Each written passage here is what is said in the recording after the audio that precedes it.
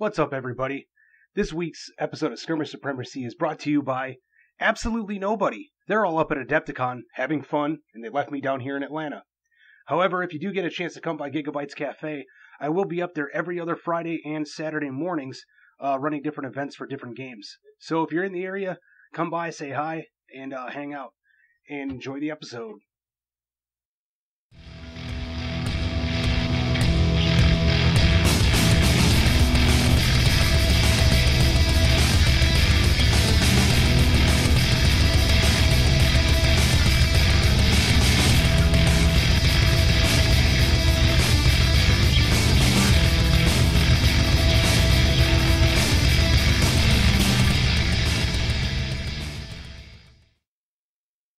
All right, folks, welcome back to Skirmish Supremacy. We are joined today by Mario Suhardi, the uh, owner of Mats by Mars and one of the primary designers, a uh, all-around awesome, awesome, awesome crystal brush painter, and general nice guy that I like to pick on every once in a while. Mario, how you doing today? I'm good, man. But I think you forgot to introduce Nick. I, I stopped introducing Nick after a while. Everybody knows his ass is in the background. Nick, say something. Hi. I, I All right. I've been forgotten. It's okay. Relegated to technical support. Yes, folks, as usual, I am joined by my co host, Nick Bogart, who's over there drinking a beer right now, which is something I can't have because of the new diet that I'm on. So that's the other reason why I'm ignoring his ass. That Pretty and the much. pollen's getting to me. It tastes delicious. Yeah, yeah. So uh, anybody out there who's listening to the podcast, uh, I'm going to live vicariously through you. After this podcast is done, when we post it up on Facebook and everywhere else that we blast it out to, go ahead and tell us what kind of beer you're drinking right now, so that way I can hope to feel some form of enjoyment from all of you torturing me. Apparently, I'm sick and twisted. And as, if you guys can't tell, I am uh, extremely stuffed up right now. We uh, just got hit with the uh, pollen plague down here in Atlanta. We get about, oh, I don't know, an eighth of an inch of pollen that starts coming down and raining out of the sky like green bullshit all over all the cars. And if you're not prepared for it, um, it's going to hit you pretty hard. Ever see the scenes from Toxic Wastelands? It's worse. Oh, yeah, it's fucking terrible. So, anybody that comes to the Atlanta area, don't come here between, I'd say, March and May. Anytime after that, you're fine. So Mario, since we got you on there, and uh, we uh, are gonna talk a little bit about some of your stuff coming out by Mats by Mars. Why don't you go ahead and uh, give everybody a completely shameless plug about your company? It's the part that I hate. Um, well, Mats by Mars it. is a high quality, waterproof, uh, scratch proof, unless you really want to scratch it real bad with like metals, uh, vinyl wargaming mats that me and Alex kind of develop. I am the main designer for the company and slash co-owner. Um, and Alex handles all the business side mostly and the processing side. Um, and we've been producing banners. I mean, banners. Sorry, we've been producing wargaming mats for people for about a year now. We just passed our anniversary mark uh, in March fourth. So, um, and a lot, and we focus mostly on Malifaux and now Guild Ball, but we do make mats for a lot of different games, and uh, you know, ours comes with an overlay for different games like Dead Zones. You can even do RPG, you know, the one inch grid, hexes, and we even have uh, 40k deployment zones and such. Nice, nice. So you, how many designs do you have at the moment? I I lost count. I actually wrote it down earlier, and I don't frickin' remember. At the moment, we do have about 21 designs, I believe. This is including the space mats for X Wing and uh, the Infinity mat. Um, but we do have a bunch that's actually in the pipeline, and we've just been busy with, with GAMA and Adepticon coming up soon because I told Alex, hey, it's Crystal Brush coming up, so I gotta do my thing. Right, right. So how many how many entries you gonna have this year in the Crystal Brush? Um, hopefully, well, I got two done. Hopefully, I'll have three or four. As we're talking, Cool. I'm working on like an Iron Painter model right now for Wyrd forums. Is that the Kingdom Death one you posted the other day? Yes. Feel free Awesome. to Which pick which the model was picture that? in. Sorry? Which model was that? It is uh, Kingdom Death uh, Savior, one of the first runs of the Saviors. Oh, okay. Yeah, because I thought I recognized it, but I wasn't too certain. It's been a Yeah, while this since is I really sat this down is looked at probably not going to be my Crystal Brush entry because it's going to take up a slot for single fantasy. I'm going to use that for something else because they they tighten it up so it's not two per painters now. It's I mean two per category. It's one per category. Oh wow, that's new. Yeah, it's it's like that since last year, I think. So you you limit it to just one per category. But you know, if you're aiming for the minor category, you can always put it in just straight to the minor category, not including in the major categories. Oh well, it goes to show you how much I paid attention last year. Worked for the damn company that puts on the crystal brush, and I did not pay attention to the new formats. I was too busy running games. Good because it's a separate thing from you anyway, right? So Yeah, pretty much.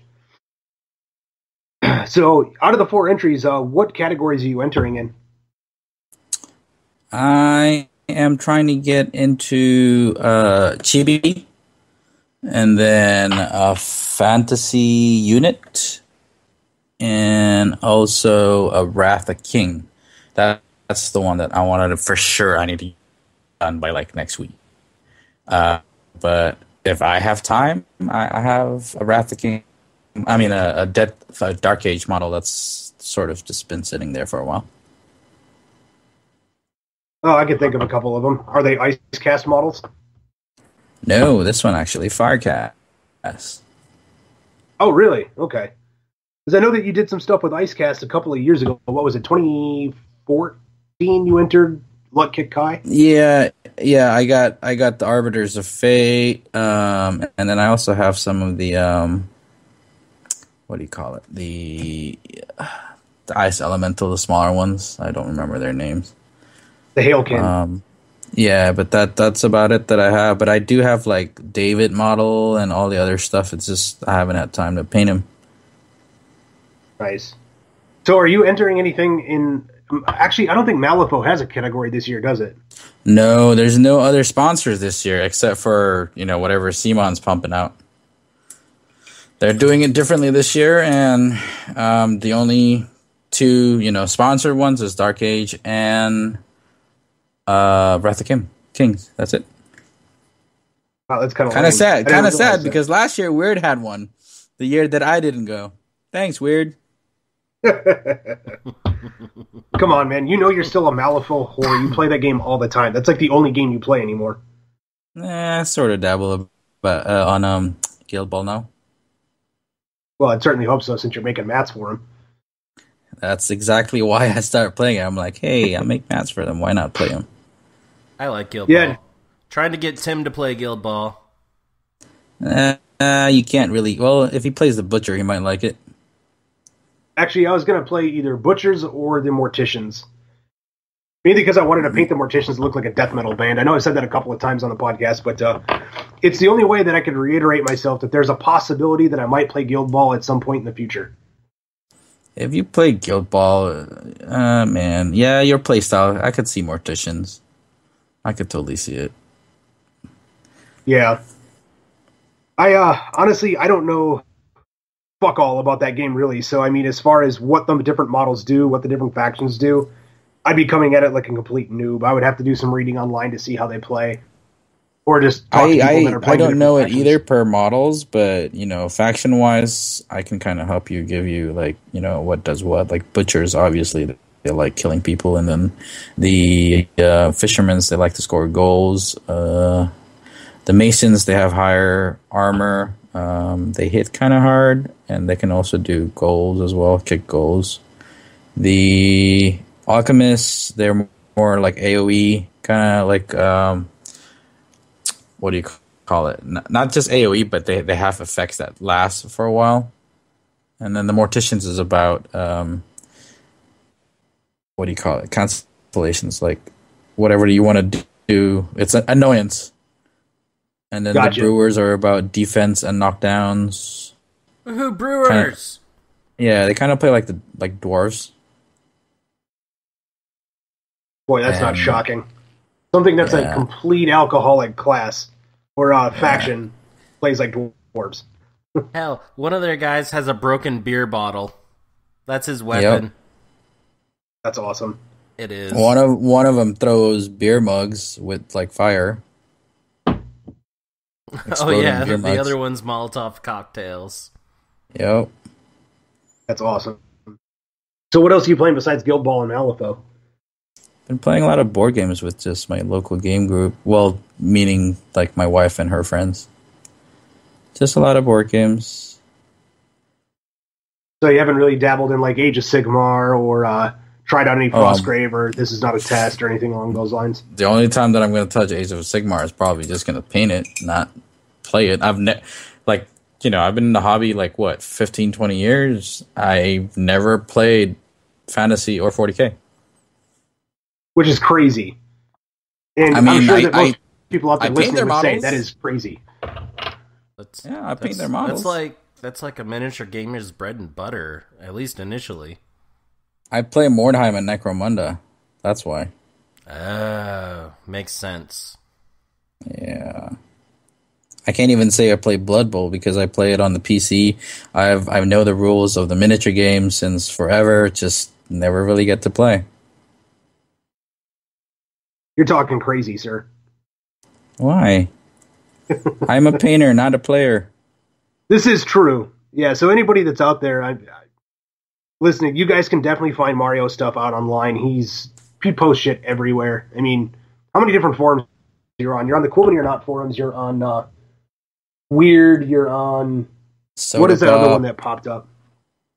Soda Pop, and I'm also in a lot of different Facebook group.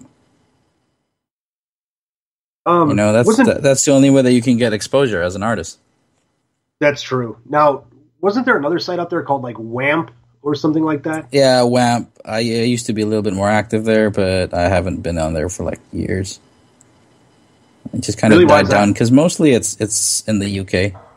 They have really good artists there. Gotcha. It's I'm not. uh, I'm not. I'm not even active in Dakka. I mean, I have a Really? username.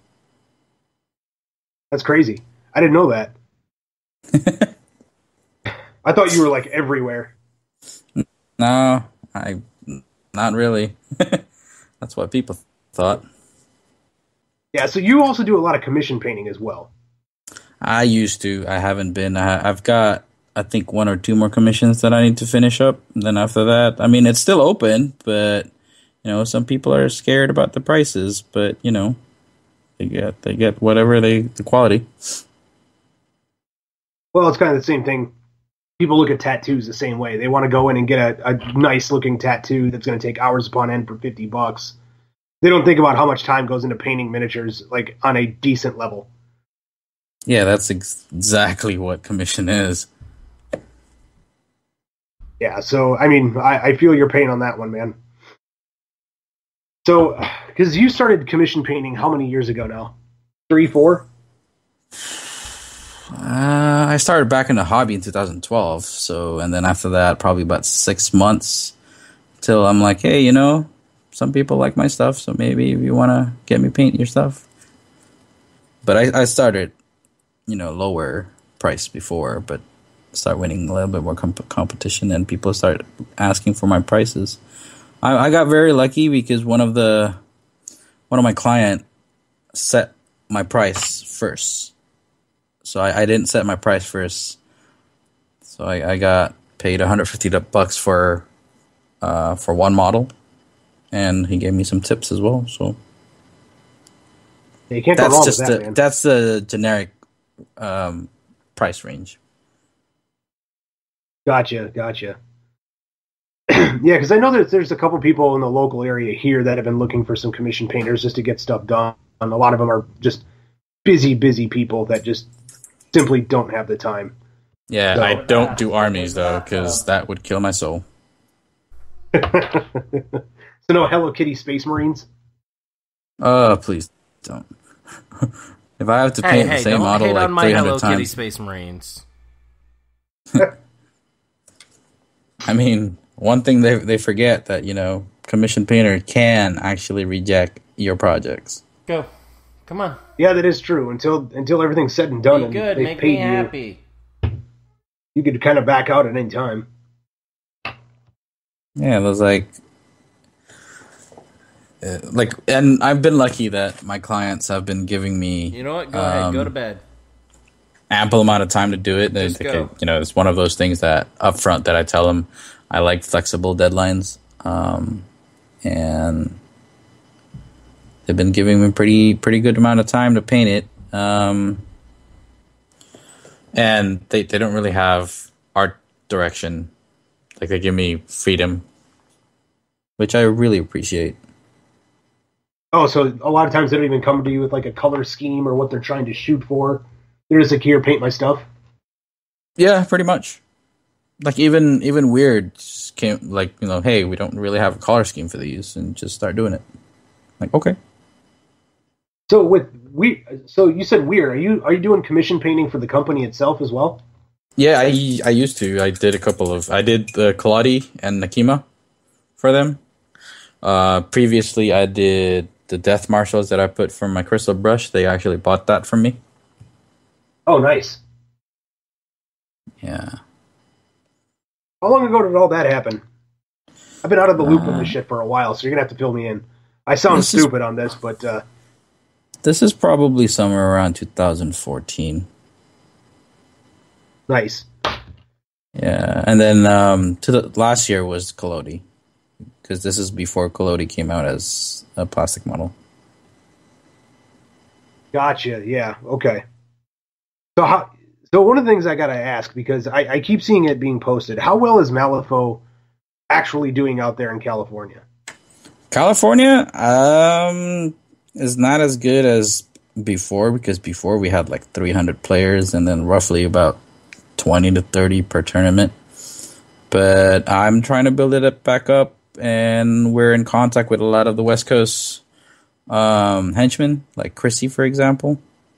And you know, I've, I've been getting about 18 to 20 uh, players to play and we we exchange players, you know, from San Diego, North Cal, NorCal, and everything else. So yeah, That's we're in a network. Um, we're building it back up. So I take it that whole NorCal, SoCal, Malifaux thing is blown over now. Uh, I mean that's what Califaux is all about. But then for the past two years, the winners of Califaux is not from California. They've Oh, been taking away our trophies. So for the folks listening out there, when uh, Malifaux actually switched over to 2.0, there was a big movement out in California that, uh, I, quite frankly, a lot of people just got pissed off and decided that uh, they were above the new game and thought that they were clearly fucking superior players or some other bullshit and didn't believe in anything Wyrd was doing. And it kind of wrecked the scene for a little bit. Um, I think it was more of like loss of trust. It wasn't more like they, I don't think they think they're better than you know Wyrd and everything. It's just they didn't like the changes. You know, they've been invested in, um, and and you know things happen for a reason. And I guess the purge happened, and you know they they play other games. It's not like they stopped playing. Yeah, because I don't know. I read some toxic, toxic shit from around that time frame. So I, I remember seeing a bunch of it when I was still a henchman with Wyrd, and I was just looking at it going, "Holy shit! What is like? It, it's it's an addition change. It's not the end of the world. Now, if you don't want to play anymore, that's fine. But some of the stuff I was reading online was just straight vitriol. Well, some people got really invested in the game, like, and you know they they didn't like the change. I mean, understandable. Their opinions. It's. I mean, you know, people can talk whatever they want. Yeah, that is true. That is true. Usually, I'm one of those Yeah, I mean, I, I say, still Andrew- have mad respect for them because they introduced me to an awesome game, yeah, which I still play true. and I promote now. So Yeah, how long have you been a henchman with Wyrd? roughly probably about two years, but actively as an actual henchman, like not like online henchman, probably about a year. Okay, It's- so it's- you haven't been doing it. It's it's fun. It's rewarding. It takes a lot of effort, and you know, if if you think that being a henchman, a pundit, a what, a rough rider before, a what's for what's for privateer press? Press ganger. Yeah, if you're press ganger and you think you're just getting free shit, that's not how things are supposed to do. Uh, not not how. That's not how they're supposed to work. You you have to like spend a, lot amount of time to actually just you know get a community going and not build a toxic community. That's the important part. For anybody out there listening if you get into any type of an organized play for any company don't be a dick. Like don't build a toxic community. Don't when you start a new game don't sit there and shit all over everything else that you know people are playing around you in order to try to get new people because all you're going to do is just divide communities and it sucks i've watched yeah, it happen numerous don't times don't talk shit about other games because you know right their players could be your players soon. Yeah, exactly. At least if you're going to talk shit about other games, then do it while you're not representing the company that you're supposed to be doing stuff for. Right, because you are a member of their community, and if every single one of you, or just one of you like that, all of us are affected. Yeah, exactly. Words of wisdom. I can be serious. wait, wait. You're not allowed to be here if you're serious. Sorry. Woo, squirrel. so you're actually going to Adepticon this year. I know last year you ended up missing it. Yeah, uh, I believe I you and the wife were traveling. Trip. I'm sorry, what was that? You broke up there a little bit. Because I had a big Euro trip that I had to go to, so it's a big, it's a good trade off. Yeah, because I think you and your you and the wife were out traveling around a lot last year in Europe. You yeah, we went what? for about eighteen days with my dad and my brother and my wife as well. Uh, we try to do that at least once every two years or something like that. Awesome. So, are you excited to be heading back to Chicago and jumping Man, back into the thick I would have been a lot more excited if Wyrd's actually sponsoring something. it's it's because I know I'm I'm gonna do their one of their model no matter what, you know, one entry. It's just yeah, whatever. But I get to see my friends that you know, like you, uh, Nick. Are you going? I will not be going to Adepticon. Damn it. Uh, well, yeah, I get to meet you know friends that I don't get to see that often, like once a year. Well, sadly, this year I'm not gonna be able to go either. God damn it, Tim. Yeah, Why I know. are you doing this? You know, you know. Normally, I would miss it for the world. However, uh, I, I know I mentioned it before, but uh, you know, mother-in-law's got a bout of cancer that she's fighting through, so I, I kind of need to keep uh, all my ah. funds freed up, so that way, if we need to, you know, be mobile and head up to Wisconsin to see her or help out in any way, we need to be able to do that. And, and so, because of that, Adepticon's just not in the cards. Best wishes. Not that I don't want to go. Like I mean, last year I wanted to go, but you know, things got in the way, so life happens. Yeah, it does. And hope you know, wish for, for the best for your mother-in-law. Ah, thanks, man. So, you guys have been starting up a whole lot of like tournaments and new conventions out in California. What all do you guys have going out there right now? Dude, right now, this year, so we did LVO, which is in Vegas. Right. Um, and then uh, I went to GAMA, which is industry only, sadly. It's, I mean, it's, it's great because we get to see stuff before it actually released in Gen Con. Um, and then I have Adepticon soon, and then Kingdom Con is after that, which is April 28th at San Diego. And then Califaux June 11th, uh, KublaCon Memorial Day weekend, Bay Area Open. I forgot when that is, but that's mostly for 40k and fantasy and Warmachine. And what else? Oh, WonderCon is also this weekend. Uh, it's not really heavily miniature, but you know, it's it's it's geek stuff. It's always fun to go. Um, I'm gonna go this Sunday because tickets for Saturday and I think Friday's still open, but Saturday is already closed. Wow. Yeah, you guys yeah. have just been booming out there lately with conventions. It used to be that it was either like right around the Gen Con area, in Indianapolis, or you know Northeast, or uh, Washington. So it was pretty much like three focal points. But you guys have really been doing a lot out in California, and I've noticed that. Uh, you know, even if it's not miniatures based, there's still a, a shit ton that's going on out there. Well, see, the thing is, for board games, there's always Strategicon, and Strategicon in LA, they have three different cons. One of them is OrcCon, and then there is, oh man, I forgot what the other two is called, but it's it's they do it three times a year, and it has a pretty good following. Um, you know, it's it's smaller, probably about two thousand to four thousand people, or no, probably at max about 2,000 people, I think, if I'm not wrong. But Oh, wow. that, that's about it that I know of. Um, and I actually have mostly non-local friends. Like, I, mean, this year is a little different, but last year I actually played more in Sacramento than I am playing over here in LA. Weird. How'd that end up happening? Just everything's Just going on in that area. I just travel more to that area. Like I played Malfa probably about three, four times last year. Ooh, brutal. Yeah. But, you know, everything is changing. Now that I have my own business, I have more reasons to go to cons. Yeah, that's true. You can't really have anybody telling you no on that factor now. Yeah. That's why I started a podcast or joined one.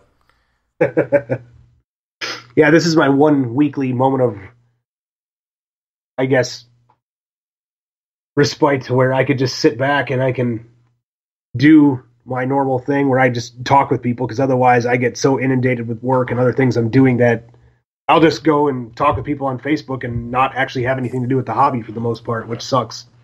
so this is my excuse, world. This is my excuse. This is your release. Yes, very much so. Uh, speaking of release, uh, I know you're working on some stuff right now. I am actually putting together a bunch of uh, Mantic ogres for Kings of War, and I'm doing the the two handed weapons, and their arms do not fit at all. I'm gonna have to soak every single one of these bastards and bend their arm. Yeah, at least it's, you know, with Mantic, you can easily kind of do that. Can't do that with the Yes. G- GW stuff. Oh no, no, no, no.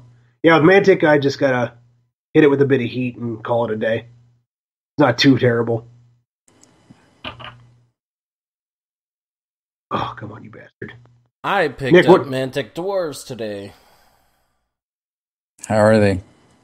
Actually, they're pretty neat. Um, though it's really it's actually my own my first Mantic products, and uh, I opened the box and I looked in it and I went, "What the fuck happened?"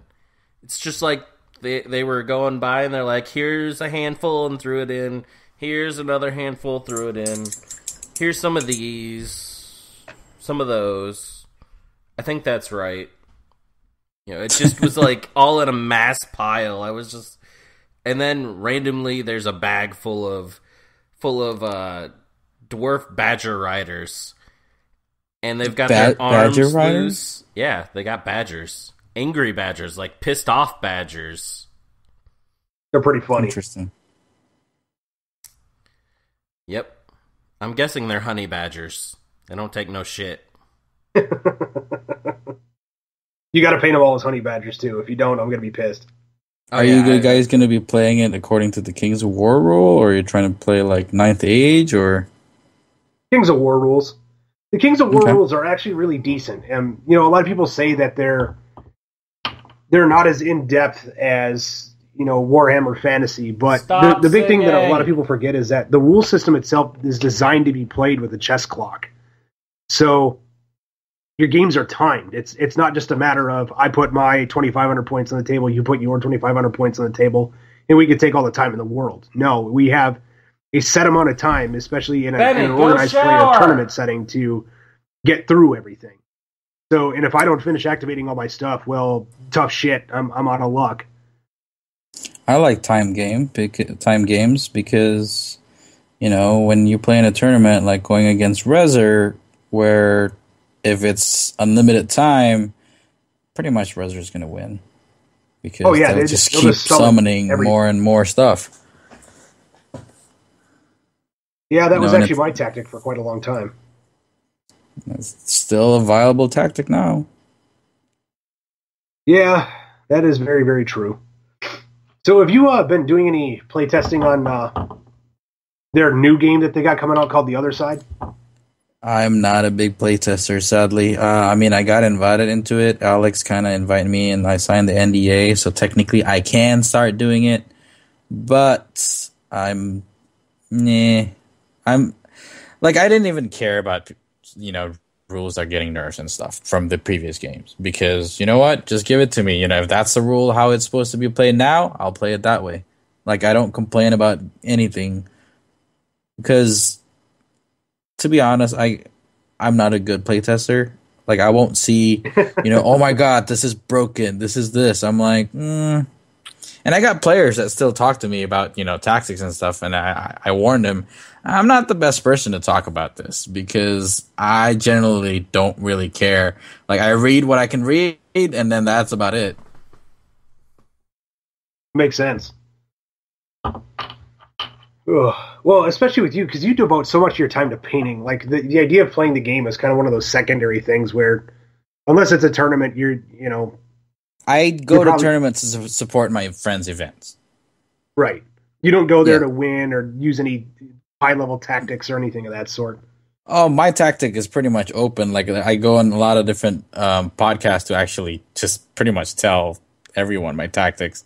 I hope you know if if they they play against me, it's just my concern is are they having fun? Well, like if, if you know me, if you played against me on, on in, in tournaments, I don't really care if I win or I lose, as long as I have fun and you have fun. I I I would care more if I get best painted or sportsmanship. so the w- rewards that most people don't care about in most tournaments out there. Not for nothing, but I mean, you know, I we're pushing toy soldiers. If I'm not having fun at it, and I'm, I'm spending a lot of money for not having fun, no way. I don't even go to the cinemas watching horror movies because I think the idea is stupid. Like, why pay money to get scared? that's what And it's it's like. it's not about you know being a scaredy cat or something. It's it's just the principle of I wouldn't want to pay to get scared. I mean, I can do that and sleep at home. That- I mean, you do live hint. in California, so you know. No, that's a joke that my wife's scary. It didn't translate well. I didn't want to take it that route. I was actually trying to take the high road, but uh, yeah, since he put it out there, you know. So anybody listening, Mario's wife is a terrorist. There, I said it. There, it's all done no, she's not. She's an awesome cook. Terrorist man. cook. Stop digging, Nick.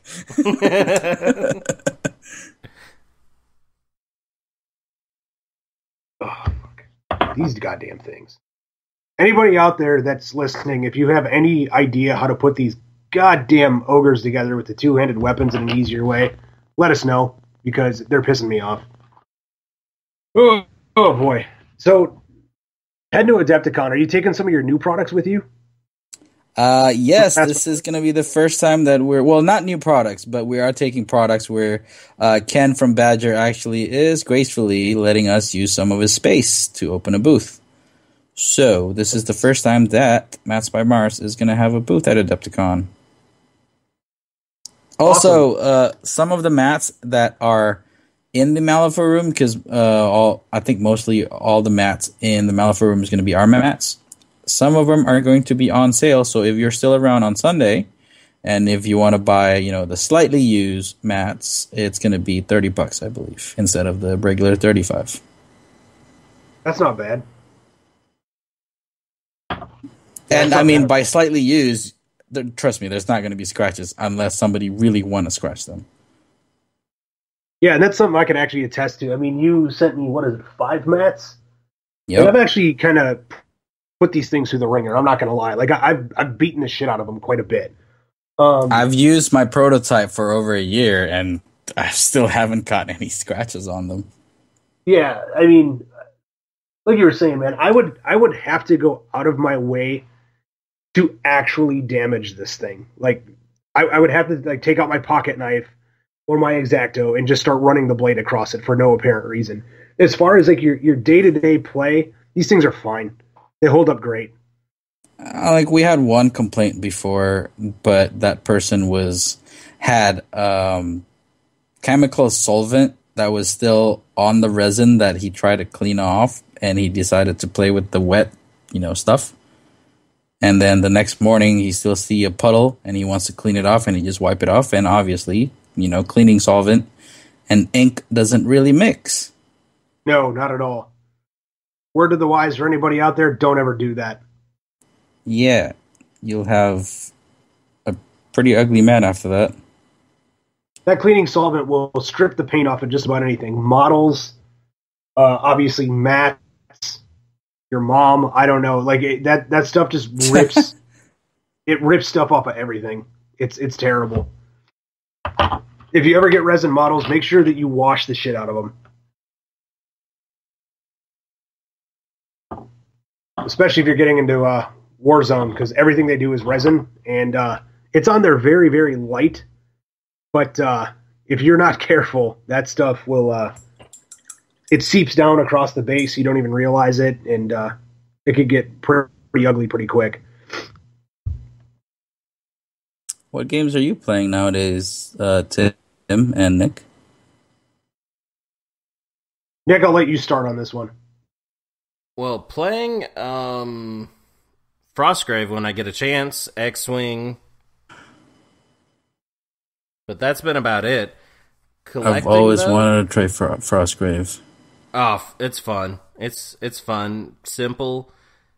You know, it's 30 40 minutes. Cuz it's it's it's the personification of Mordheim that I've been missing. Oh yeah, definitely. Yeah, you wouldn't be wrong on that. It's it's Mordheim in a frozen city. Which, yeah, could happen, right? Yeah. Well, yeah. and the nice part is I've watched you know people on all the various groups and and they've adapted it to uh, lots of different things.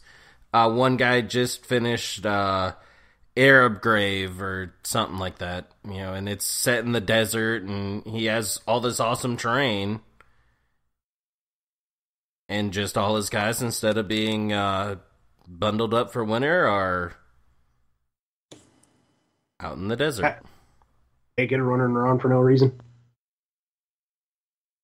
Pretty much.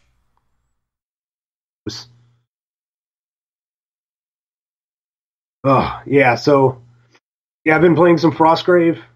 Uh, we actually started a bit of a campaign at work, and then it died off quickly uh, just timing at my job sometimes. It just uh, you know we we have the best intentions to sit down and play games all the time but with the way business has been growing it's been really tough. Uh, obviously age of sigmar i've mentioned it a couple of times. Uh, warzone Resur- uh, yeah warzone resurrection. A little bit of infinity. And uh, that's really about it at the moment. I have i honestly have not had a chance to dive into too too many games. Obviously, I'm putting together Kings of War, so that's kind of a given. Oh, and then uh, also I'll be getting into uh, Mantic's Warpath and all their different levels of that in there. So that's Warpath, Warpath Firefight, which is kind of like the in between of Mass Battle and Skirmish. So kind of 35 points of Warmachine level. And then uh, obviously they have uh, Deadzone as well, which is their skirmish level that kind of ramps up to Warpath. Dude, if I don't know you, I think you're playing too many games. I am. I'm not gonna lie. I'm playing way too many games. way too much stuff on the painting table right now. I actually had to make a checklist in order to make sure that I get shit done. It's that bad right now. so uh, my painting table moved over to my uh, gaming table, or at least the shit to get pay- painted, and it it doesn't even all fit. I've made a four foot by eight foot table look small. First world problems. Pretty much. Awesome. But I'm actually uh, I'm super stoked this week I just finished up. I did. Uh, I, I'm collecting U.S. Uh, Ariadna for Infinity, and I just finally started trying out airbrushing. I've got all of them base coated. Uh, there's 24 or 5 models. I have I got 17 of them done in a week. I was happy. That, that's the most models I've like pretty much ever done. Airbrushing saves a lot of time, but learning how to airbrush that's a different story. Yeah, no, there there's a lot of that going on. Yeah, I got a compressor now. I just need to get a conversion hose to fit the airbrush. So go talk to Ken. He might be able to help you with that. Yeah, I'm gonna have to because uh, I've been looking elsewhere. Just you know, heading out to game stores and whatnot, and I just haven't found it. So probably just bug Ken see if he's got something. See, I made the mistake of uh, getting a kind of a general air compressor. It's like a two gallon thing. So it's not even designed specifically for airbrushing. It's designed to where I can airbrush, or if I need to, fill up the t- uh, tire on my car. So, oh yeah, yeah. I mean, you can. I forgot what the website that you can get it from, but you don't have to get like a branded one because what Ken is saying is pretty much from the same company in either China or Taiwan that makes those. Oh, really? Yeah, I forgot what the the website's called. Um, but it's it, it, looks like a generic one. But as long as you have you know the conversion pieces that you need, yeah, you're you're good to go. Awesome. Yeah, I'm gonna have to look into that then because uh, I definitely need to get a, a conversion hose. Because right now I've got the the one for the the big coil for filling up a car tire. I don't have the big coil that fits into the small airbrush. Uh, depends on your airbrush. I think you can probably go to either a hardware store or you can go to Michael's and look for like you know if you have Badger, then they have the Badger hoses. Yeah, I might have to do that. I and and don't forget to use the forty percent coupon. Who's selling Michaels now? hey man, I'm trying to save you money.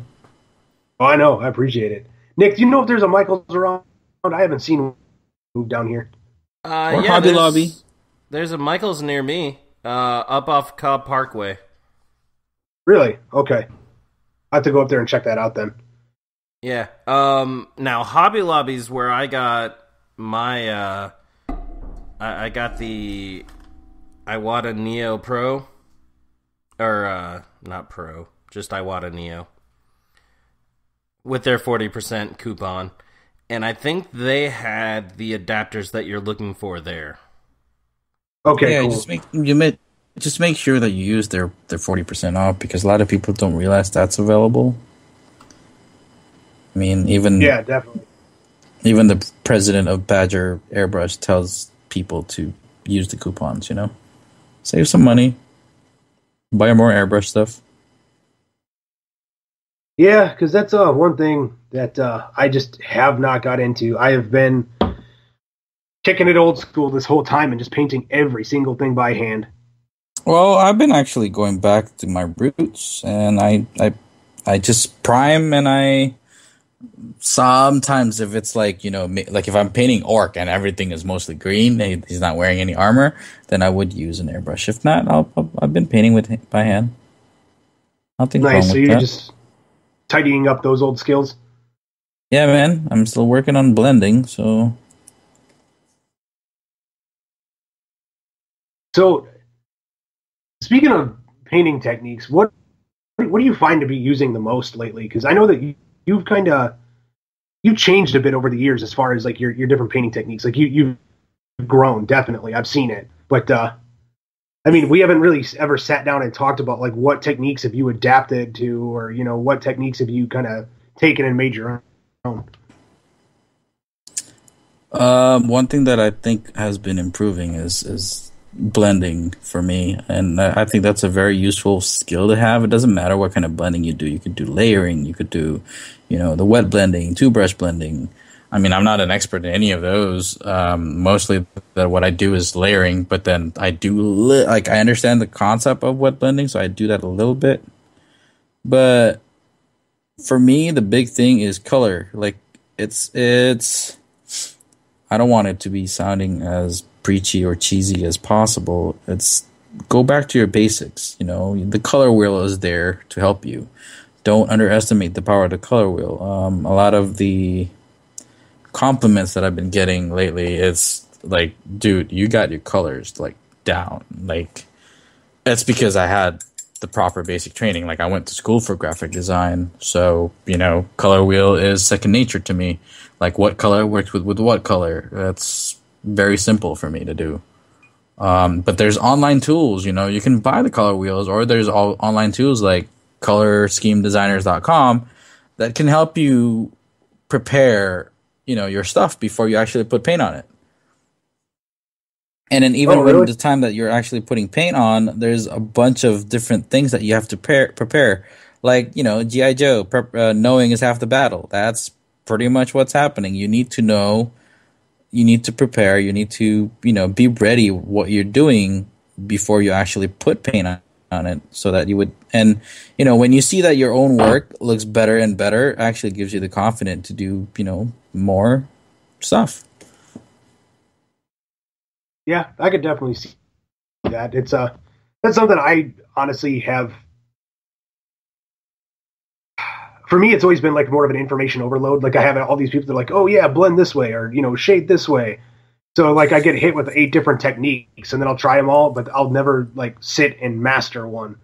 yeah learning too many kung fu moves in the same time happens all the time all you gotta do is just focus on one and just keep at it don't don't keep jumping left and right man that's what my recommendation you know i'm not a big supporter of dry brushing but if that's what really you're good at keep fo- focusing on that.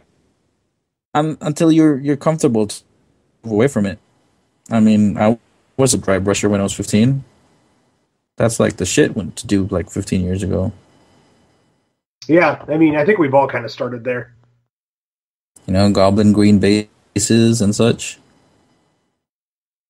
Yeah, very much so. i mean with I'm no thinking back to all intention of you know like uh, offending anyone that's still dry brush.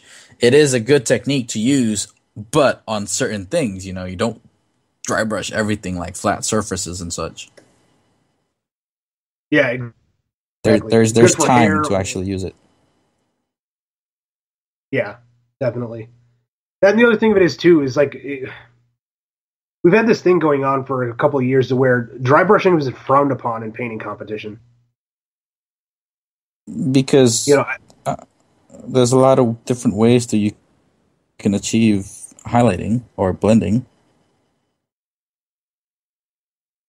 right? So you know, a lot of people have kind of taken it and I don't want to say crapped all over it, but I mean they kind of have. They, they just look at it and go, "Oh, you dry brush that," you know, and they just kind of like look at your work like it's shit. And it's like, well, what if that guy or that girl in this case, you know, uh, just started painting, just got into miniatures. They don't know any better. Like this is a technique they picked up online in order to, to get through their stuff, to get it at least painted, to get it on a table. So you know, at least show them some respect on that what's part. what's funny is most of the people that does that, like you know, that actually laugh at you know dry brushing skills, are not usually the painters that in the competition or the judges. It's mostly online people or people who is not in the com- competition that actually have that kind of comments. Like themselves, they they don't have anything entered. You know, you should give a, a huge applause for these people that's actually entering the competition because they want to know how far they're they've become. You know, they just want to try it for the first time. They don't know that. Yeah, I mean, it's just like anything else. When you when you look at something on a quote unquote professional level, and you know, I know painters, if it's not commissioned, like y- y- you're not really professional per se. Like, yeah, you can win a gold demon. Yeah, you can win Crystal Brush. Yes, Crystal Brush has a ten thousand dollar grand prize. Um, so there's a lot of different factors in there like that, but you can't live off of painting competitions. You can't make a living off of it. Um, it's always your work that you do outside of it. But uh, you know, I it, going back to what I was saying is like anytime that you you step up your game and you you're going in there swinging with the big boys. It doesn't matter if it's your first year and like you just started painting a year ago and you just learned about color wheel. The fact that you even had the balls to like put your miniature in against, you know, Jen Haley or Marike Reimer or anybody else that's like a world class painter. Jeremy Bonamant, like, you know, kudos. Because a good majority of the people out there, and usually the ones that shit all over your work, would never do it. Yeah, if you're too scared to actually put your stuff out, you have, you know, no rights to critique about other people's. Yeah, exactly. Because that's uh, one thing that uh, always did kind of bug me when I, it came time to like painting competitions for like local events that I've been to and things like that. You don't see a lot of it at Crystal Brush or like your your big name ones, but like your local tournaments where they have like a painting competition, I, have heard it a little bit here and there where people are taking jabs at others, and I'm like, what what the hell point, guys? It's Seriously. not that kind of competition, you know. It's it's the wrong way of looking at painting competition. I've never met an artist who's in the competition in Crystal Brush, for example, that would not answer any of my question, and they would congratulate me if I win. They would they will talk to me even if I don't win. I was a nobody in 2013, and I'm still basically a freshman in the painting world. Like you know, my stuff isn't that great compared to the high end painters, um, you know. But they they had no problem talking to me. Just you know, don't think that they they're not approachable and be courteous you know? That's the basic rule to approaching any other human being. Don't be an asshole and you'll get your answers. Yeah pretty much. I can't say it any better than that. Yeah you know don't be a douchebag. People will like you or people will answer your questions yeah it kind of goes back to the uh, flow chart that Wil Wheaton put out yeah oh, not to be, be a dick, dick. That's one simple rule. Just don't be a dick. Done. Oh yeah. So you're looking forward to seeing Derek and Austin and Chung's well, I already saw year, Derek at GAMA. Oh yeah, so you already you already busted your balls enough. I take it. Oh, uh, f- for sure. Derek being Derek. Yeah, yeah, I know how that goes. I've told him I mean, time and time again I'm going to get his ass on this podcast because he hates on podcasts pretty bad. I mean, I'm, I love the guy. He's a good friend, you know, but he busts balls all the time. Never fail. Yes, that is very, very true. Yeah, because I know Austin's going to be up there selling some new shit. Um, I think Mantic is going to be there honestly, this year with with me not going to Adepticon, I haven't paid too much attention. But uh, who? So who? Who all did that we know out of our like our group of friends? Who's all going to Adepticon this year? Uh, Chung isn't going because of his condition. Right. Um, Les is going. Uh, oh wow! Okay. Jeff, engineer Jeff, isn't going. Miranda's going. Adam Loper is going. Um, Spud isn't going. Most people from the UK isn't going or aren't going. Uh, who else? Uh, I met a lot of new people. So um, Sarge is going. I'm going to be rooming with Sarge. Nice. Are uh, Andrew and his son going? Uh, Family of Gamers? Yeah. I am not entirely sure. I haven't spoken in a long time. Oh, really? Hmm. Yeah, because I know they were there last year. They were, they did pretty much everything Mantic. So mm, I, I saw some pictures. Hard. Yeah. And then uh, I know that uh, Terrainaholic, Bill and Sue, they'll be there. But, oh yeah, because uh, they're local. Yeah, it takes them what an hour to get there. Yeah, it only takes them an hour to get there, so they're probably going to be there. Yeah, and then I know a bunch of local guys from Milwaukee that'll be up there. I think there's a couple people from the Atlanta area that are heading up, but uh, I can't confirm or deny that. Um, I, I, know that it, the idea has been tossed around, but whether or not they're actually going to go, you know, is another thing. I know but, Curtis uh, is going with, um, but as I believe as himself, not as part of Wyrd. So he's going to be going? entering some stuff. Looking forward to see his stuff. Who's going there? Curtis. Oh, really? Yeah, Curtis hmm. is going. Well, Liz and Jonathan is going, I think.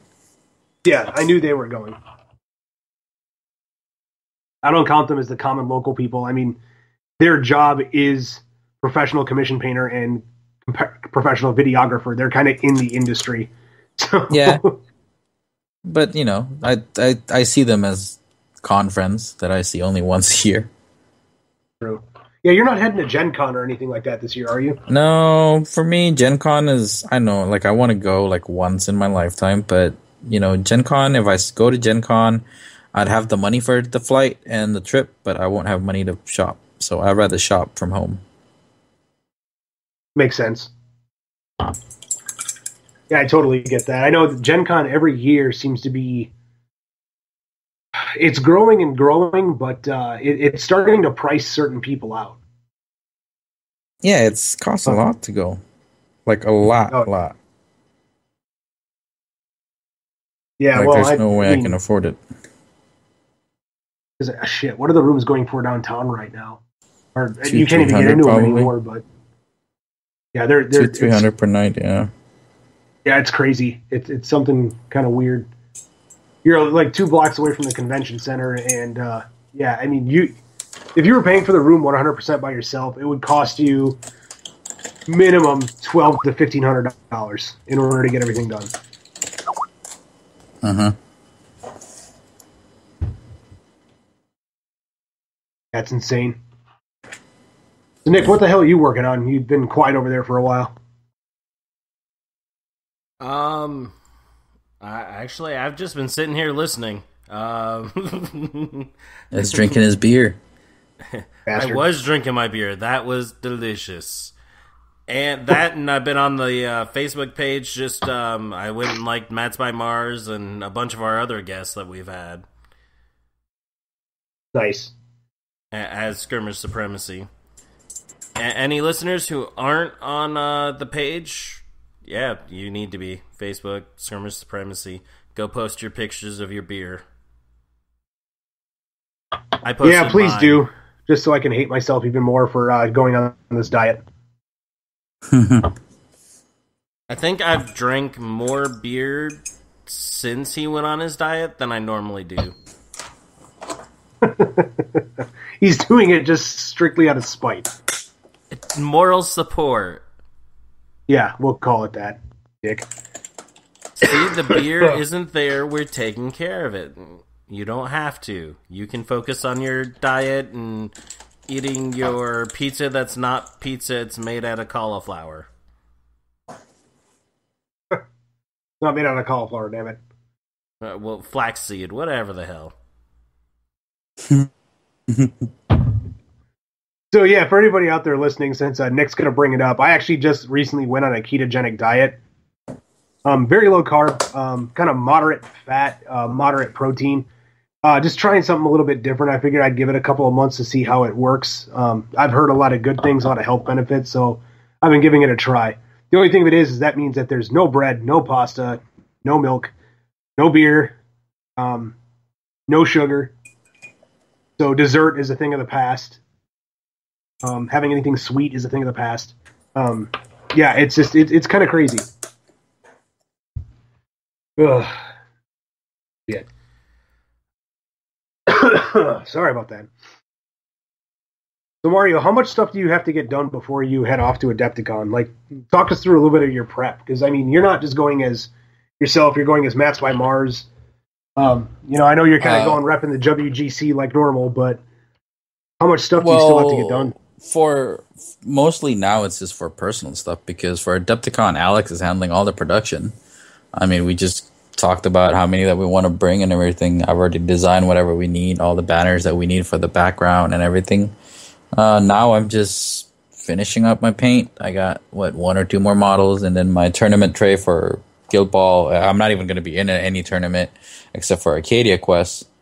Um, I just need to paint it black, and that's about it. Uh, just concentrate on my my entries. That's about it.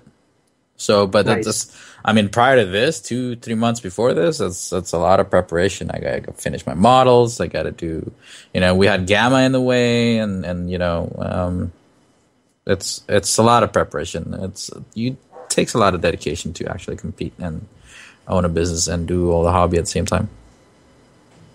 I was gonna say I don't know how you fit anything else in there, but you managed to do it pretty damn well. I'm trying, man, trying. Well, I know that you actually got to get going. I know that uh, the better half just got home, and I know she's probably going to be cooking you some delicious, delicious dinner. So, yeah, we can definitely Yeah. cut this thing. Cool. Well, is there anything else you want to get saying before you get going? Uh, are you running any Adepticon specials for any of the listeners that are going? I don't have any of the details yet, um, and but we are gonna have a booth over at Adepticon. So if you are around Adepticon, say hi. You know we're by the Badger booth and the WGC booth, and I believe the Brush for Hire booth at the same time. Awesome. So you get a whole line of just all my good friends. Definitely go check it out. If you're at Adepticon, just take your wallet and just drop it off at that line, and then just let. Uh, trust me, let them have their way with it. They'll be just fine. You'll be happy in the end. Exactly. Your wife might not Alright. be, or significant other, but you will be. Until they kill you. All right, man. Possibly So shameless plug time. What's the uh, what's the uh, website address where they can get a hold of your mats and look at some, some of the stuff? matsbymars.com and if you t- try to communicate with us go on our facebook mats by uh, facebook slash mats by mars or you can go on twitter at mats by mars or look for me mario uh, i'm probably in, a lot of different groups of facebook you've probably seen my name somewhere just talk to me there um, alex is not too vocal on social media so i'm the social media guy yeah um, you know but to be the easiest way is just go matsbymars.com. We have, you know, contact us from there. Awesome. Cool, man. Well, I definitely appreciate you coming on. Hopefully, we can get you on here again after No, you're thanks for having me, stressing man. out a little bit about stuff. Yeah, thanks for having me. Really pleasure to be here. Cool, man. We'll see you later. Thanks Cool. for coming. Thank you. Bye. Have a good one.